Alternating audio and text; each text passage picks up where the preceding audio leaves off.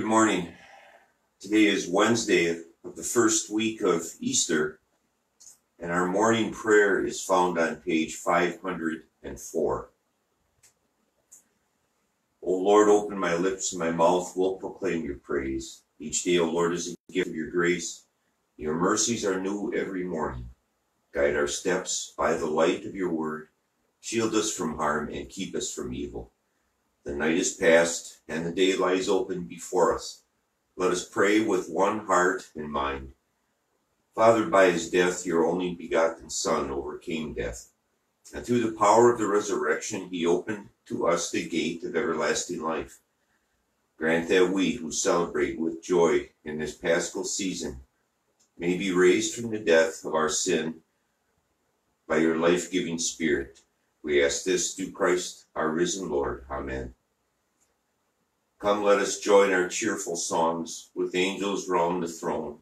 Ten thousand thousand are their songs, but all their joys are one. Worthy the Lamb that died, they cry, to be exalted thus. Worthy the Lamb, our lips reply, for he was slain for us. Jesus is worthy to receive honor and power divine, blessing more than we can give be Lord forever thine.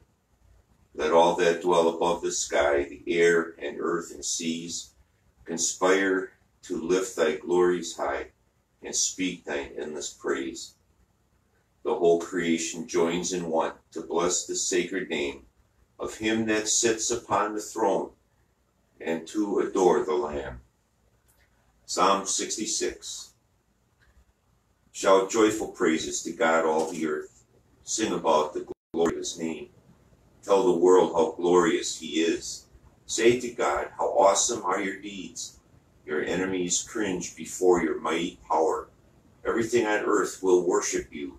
It will sing your praises, shouting your name in glorious songs. Come and see what our God has done, what awesome miracles he performs for people.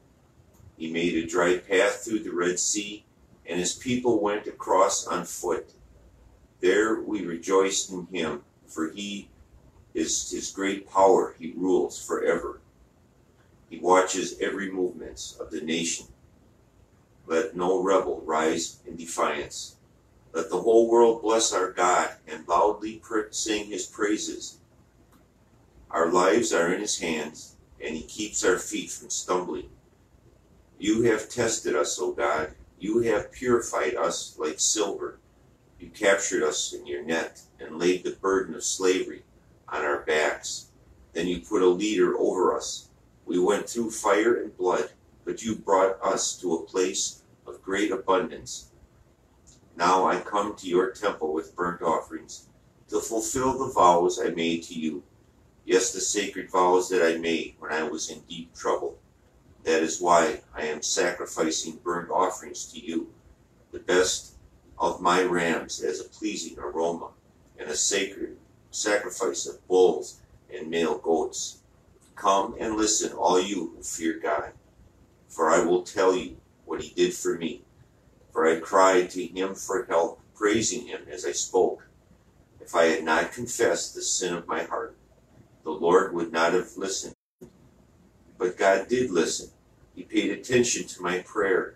Praise God who did not ignore my prayer or withdraw his unfailing love from me. Glory to the Father, and to the Son, and to the Holy Spirit, as it was in the beginning, is now, and will be forever. Amen. A reading from Romans chapter 6. Since he died, we died with Christ. We know that we will live with him forever. We are sure of this because Christ was raised from the dead, and he will never die again. Death no longer has any power over him. When he died, he died once to break the power of sin. But now that he lives, he lives for the glory of God. So you also should consider yourselves to be dead to sin and alive to God through Christ Jesus. I will sing to the Lord, for he has triumphed gloriously. He has hurled both horse and rider into the sea. The Lord is my strength and my song, He has given me victory. This is my God, and I will praise him, my Father's God, and I will exalt him. The Lord is a warrior, Yahweh is his name. Pharaoh's chariots and army he has hurled into the sea. Your right hand, O Lord, is glorious in power. Your right hand, O Lord, smashes the enemy. Who is like you among the gods, O Lord? Glorious in holiness, awesome in splendor, performing great wonders. You raised your right hand, and the earth swallowed our enemies. With your unfailing love, you lead the people you have redeemed. In your might, you guide them to your sacred home. You will bring them in and plant them on your own mountains, the place, O Lord, reserved for your own dwelling, the sanctuary, O Lord, that your hands have established. The Lord will reign forever and ever. Glory to the Father, and to the Son, and to the Holy Spirit, as it was in the beginning, is now, and will be forever. Amen. In the morning we call to you, O Lord. Be merciful and hear our prayer. Lord Jesus, source and summit of our Christian life, be with us now and forever. Lord Jesus, comfort of the sick and the sorrowful, accompany those who struggle with their health and those who minister to them.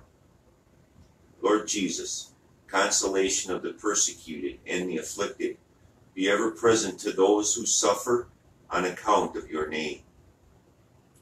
Lord Jesus, the life and hope of those who die in you, prepare us for death even now as we live. Lord Jesus, the beginning and end of the ages, bring us at last into your presence to rejoice in your goodness forever. As our Savior Christ has taught us, we boldly pray, Our Father who art in heaven, hallowed be thy name. Thy kingdom come, thy will be done on earth as it is in heaven. Give us this day our daily bread, and forgive us our trespasses, as we forgive those who trespass against us. And lead us not into temptation, but deliver us from evil. Almighty God, as once your blessed Son made himself known to his disciples in the breaking of bread, so too make him known to us anew in these paschal days open the eyes of our faith and grant that we may behold him in, in a work in our lives, in the lives of others, and in the redemption of our peace, today and always. We ask this through Christ our Lord. Amen.